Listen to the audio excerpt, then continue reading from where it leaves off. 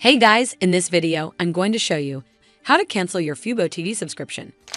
So first of all, press the home button on your Roku remote and then head over to the Fubo TV app right over here. Once the app is highlighted, press the star button on your Roku remote to open the options menu. Now it's loading the channel information and then eventually it will pop up with a menu that gives you some options. We're going to go up and click where it says Manage Subscription, then head over to Cancel Subscription.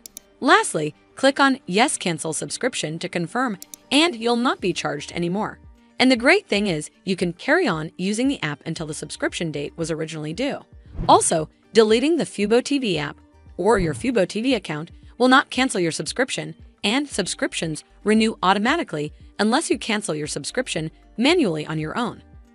Well, that's how you cancel Fubo TV subscription. I hope you found this video helpful. And if you did, make sure you give it a thumbs up to see more videos like this and don't forget to hit that subscribe button. We'll see you in the next one.